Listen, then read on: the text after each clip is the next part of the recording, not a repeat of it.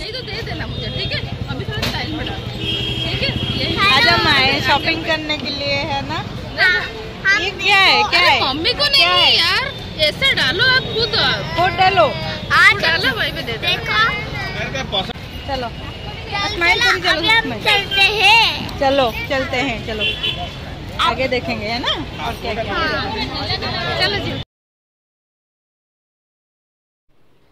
मेरी छोटी ननद और सारे बच्चा पट्टी सब हम गए हैं शॉपिंग के लिए पूरी के मार्केट पे।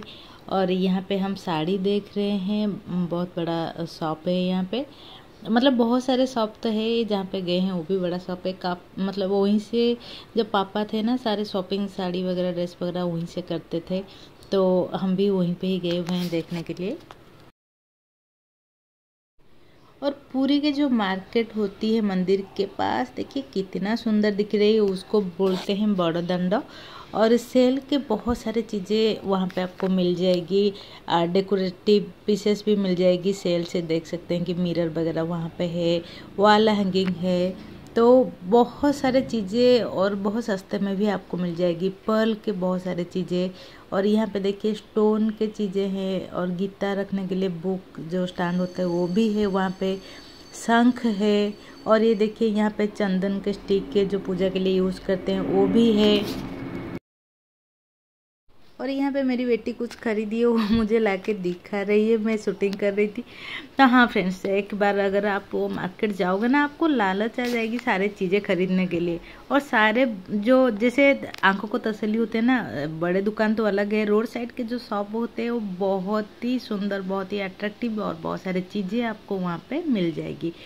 और यहाँ पे पीतल के जो बर्तन होते हैं पूजा के लिए हो गया, वो सारे छोटे से लेके बड़े तक आपको हर चीज़ यहाँ पे मिल जाएगी।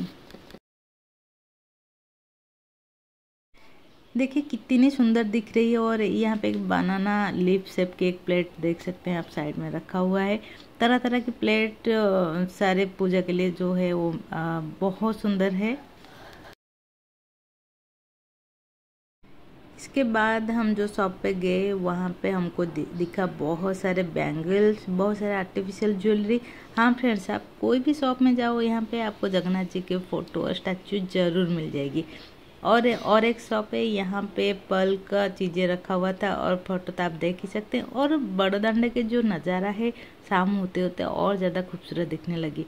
और रथ यात्रा है, जुलाई में सबको पता होगा तो अब रथ बनाने की तैयारी चल रही है। तो ये सारे कारीगर है, रथ बना रहे हैं। वो बचपन में शायद मैंने एक बार देखी थी और इस बार देखी मुझे बहुत अच्छा लगा। रथ के जो लकड़ी है वो सारे रास्ते में रखा हुआ है। जगह जगह पे बनाया जा रहा है रथ के अलग अलग पार्ट्स। और देखिए, आप देख सकते हैं कितना सारे कारीगर यहाँ पे लगे हुए हैं।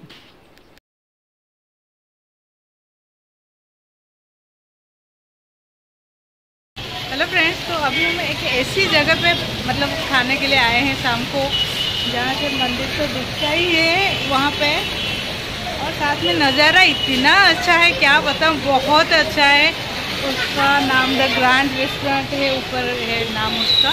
बिल्कुल मंदिर के सामने ही है।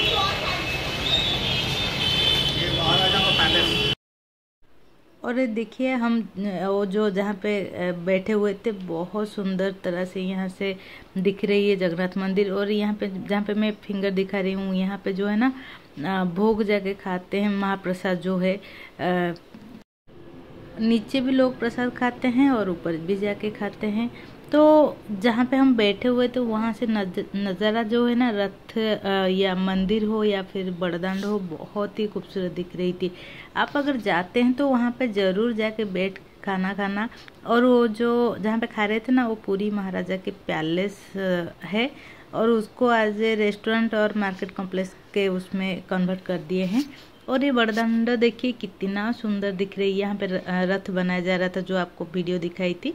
बहुत अलग अलग जगह पे ऐसे टेंट लगा के काम चल रहा है और शाम होते होते यहाँ पे बहुत ज़्यादा भीड़ भी हो जाती है मतलब बड़दंड में। और यहाँ पे रेस्टोरेंट का व्यू दिखा रही हूँ आपको, ग्रैंड रेजेंसी है इसका नाम और यहाँ पे आपको विदाउट ओनियन एंड गार्लिक के खाना मिल जाएगी और सारे हर तरह के खाना आपको मिल जाएगी और बहुत ही यमी भी थी। हम सब तो बहुत एंजॉय कर रहे हैं फ्रेंड्स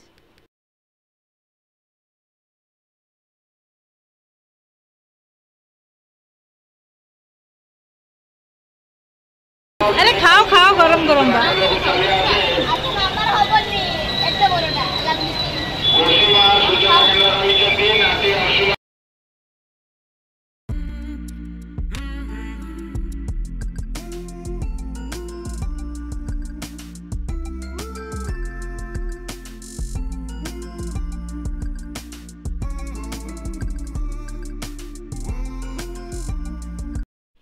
और यहाँ पे देखिए हम खाना खा रहे तो बंदर ऊपर बैठे हुए छोटे छोटे बच्चा बंदर भी है और बड़ा बंदर भी है।